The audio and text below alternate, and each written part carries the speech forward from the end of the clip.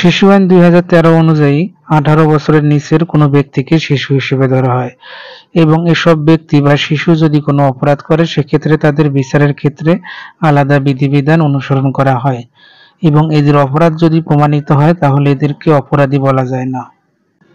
অপরাধ প্রমাণিত হলে বা দোষী সাব্যস্ত হলে এদেরকে বলা হয় আইনের সাথে সংঘাতে জড়িত শিশু। এবং কোনো শিশু যদি অপরাধের শিকার হয়, তাহলে তাকে বলা হয় আইনের সংস্পর্শে আসা শিশু।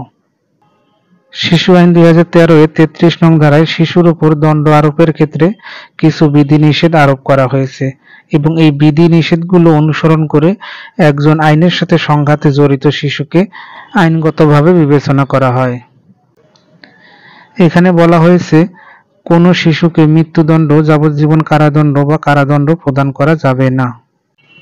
তবে এখানে আরও বলা হয়েছে, সেই শিশুটি যদি খুবই অবাধ্য হয়, এত দুষ্ট প্রকৃতির হয় যে তাকে শাস্তি দিতেই হবে, সেক্ষেত্রে তাকে শাস্তি দেওয়া যাবে।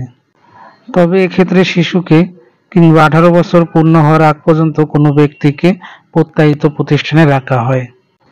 প্রত্যায়িত প্রতিষ্ঠান বিষয়টি আরও আলোচনার বিষয়, সেটি আমরা পরে আলোচনা করব।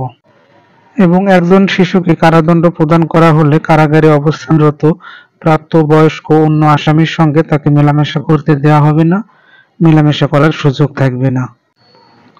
কোনো শিশু অপরাধ করে থাকলে একজন প্রাপ্তবয়স্ক ব্যক্তির অপরাধ যেভাবে বিচার করা হয় বা যে আদালতে করা হয়, সেই আদালতে করা হয় না। তদন্ত রিপোর্ট সহ অন্যান্য বিষয়গুলো শিশু আদালতে করা হয়। শিশু আইন দুই হাজার তেরো এর তিরিশ ধারা অনুযায়ী কোনো শিশুর প্রতি কোনো আদেশ দেওয়ার ক্ষেত্রে আদালত কিছু বিষয় বিবেচনা করেন।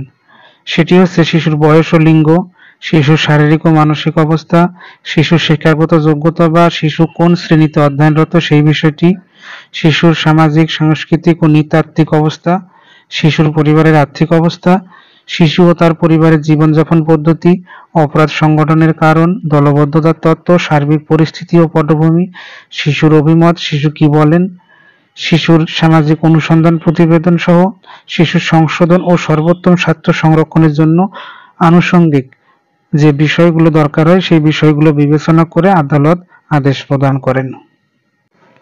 প্রায় প্রত্যেক দেশেই শিশুদের অনেক বেশি সংবেদনশীল হিসেবে দেখা হয় এবং তাদের প্রতি আলাদা যত্ন নেওয়ার বিষয়টি খুবই গুরুত্ব সহকারে দেখা হয় এবং বাংলাদেশের শিশু আইনটিও তার ব্যতিক্রম নয়।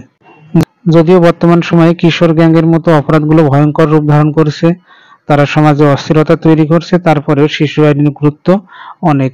কিন্তু বর্তমান প্রেক্ষাপটে সেই কিশোর গ্যাংয়ের বিষয়গুলো অবশ্যই বিবেচনায় নেওয়া উচিত এবং তাদের ক্ষেত্রে উপযুক্ত ব্যবস্থা নিয়ে উপযুক্ত সংশোধন পদ্ধতি তৈরি করে আমরা এই আইনটিকে আরও গতিশীল করতে পারি যুগোপযোগী করে তুলতে পারি। আশা করি বিষয়গুলো বুঝতে পেরেছেন। শিশু আইন নিয়ে আরও আলোচনা আমরা পরবর্তীতে করব। ধন্যবাদ।